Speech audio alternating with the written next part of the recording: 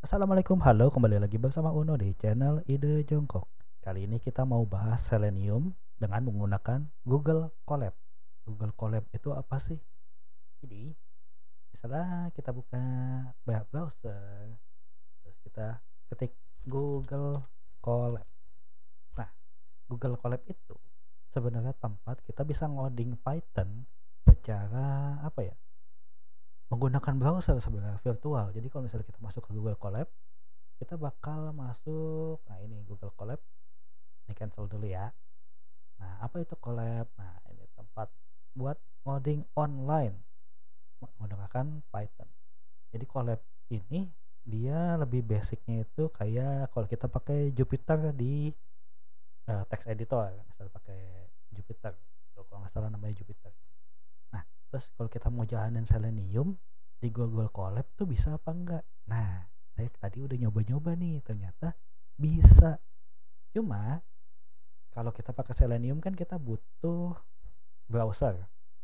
Nah di sini kita bisa sih install browser cuma nggak bisa muncul browsernya. Jadi kita bakal lakukan otomasinya secara headless. Headless itu apa? Nggak ada kepalanya. Maksudnya kita bakal testing otomatis eh, kita melakukan otomasi tapi nggak muncul browsernya. Jadi cuma jalan di background doang gitu. Ya udah daripada banyakan ngemeng kita mulai ya.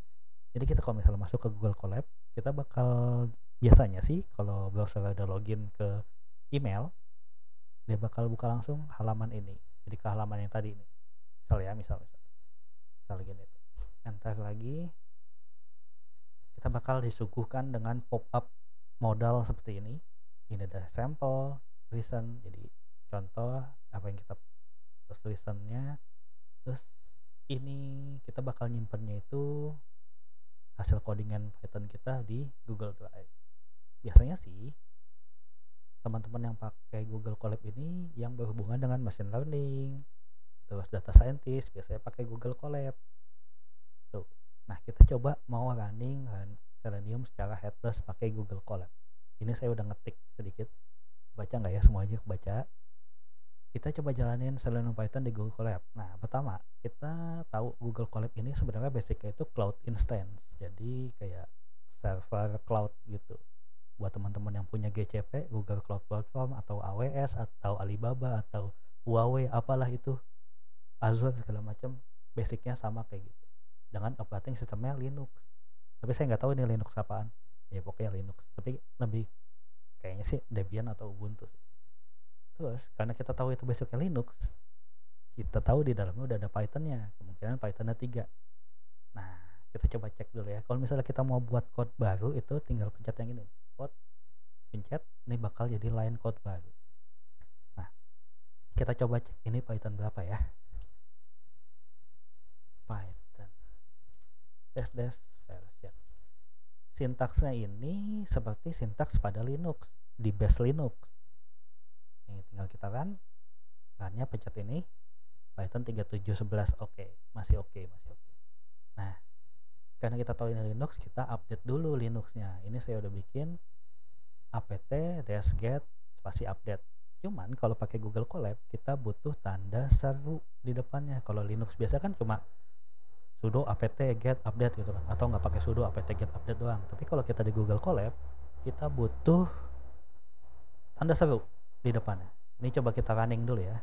Suruh update dulu. Kita update tuh kan dia bakal running. Semua yang ada di dalam script ini ini bakal terhubung semuanya. Jadi kita bisa nambahin script dengan nambah code. Kita mau nambahin teks-teks gitu. Tulisan-tulisan pakai teks. Ya macam kayak Jupyter lah nah ini udah kelar kalau kelar kita centangi terus kita coba install seleniumnya. Gimana caranya ya? Pip install selenium. Pakai tanda seru karena kita masih di base. Di command prompt terminal apalah itu. Nah ini udah install selenium udah udah ada install selenium. Nah habis install selenium biasanya kita ngapain? Biasanya kita install web drivernya. Karena ini Linux dan yang paling stable di Linux itu biasanya Chromium bukan Chrome tapi Chromium tapi dia biasanya emang Chrome. Kita install si Chrome driver punya Chromium. Apt spasi install spasi Chromium ds Chrome driver. Pakai tanda seru juga ini di run. Udah install nih install. Nah kan kita tahu browsernya nggak bakal nampil. Jadi kita butuh Chrome option atau option dari web drivernya menggunakan headless. Argumen nambahin argumennya itu headless. Teksnya bakal seperti ini. Biasa kan from selenium ini bisa di kotak atik. From selenium import web driver terus bikin apa nih variable option web driver dot chrome option c nya gede. Masukin ini argumen headless no sandbox disable. Kalau misalnya mau jadi maximize juga bisa di maximize. Ada list argumennya coba cari aja di optionnya Chrome driver cari di dokumentasi nah terus kita bikin apa nih variable driver seperti biasa web driver titik Chrome nah ini apa nih ini sih biasanya kalau kita kalau misalnya di VS Code tuh pakai executable path-nya atau Chrome driver kan ada di mana. Nah, kalau di Google Colab, di Google Colab tinggal tulis aja string kayak gini. String Chrome driver. Terus koma option ini yang udah kita bikin di sini selesai kita run udah? Nah udah nih udah centang semua. Kita tinggal ngetik aja selanjutnya. Biasanya kan kita mau buka apa nih? Buka driver.get ini buka noobtest.id gitu. Terus kalau misalnya gini doang ya nih nggak ada ini kita run gini. Udah tuh ini udah kelar. Cuman kan nggak muncul kita nggak bisa lihat tampilannya. Jadi kalau kita nggak berapa dia muncul apa enggak nah untuk validasinya biasanya kita pakai kita mau ngeliatin title-nya ada benar apa enggak noob test gitu kita kan lagi. Nah dia bakal ngeprint di sini nih noob test a platform for noob software tester. Benar enggak noob test. Ya kan? Noob test a platform for noob nggak kebaca. New page source. Noob test a platform for noob software tester. Titlenya sama sama ini. Jadi gitu jalanin Selenium di Google Colab sebenarnya sintaks ke bawahnya sama sih kayak find element segala macam harusnya sih sama. Oke? Okay? terima kasih. Semoga bermanfaat semoga membantu. Assalamualaikum. Dadah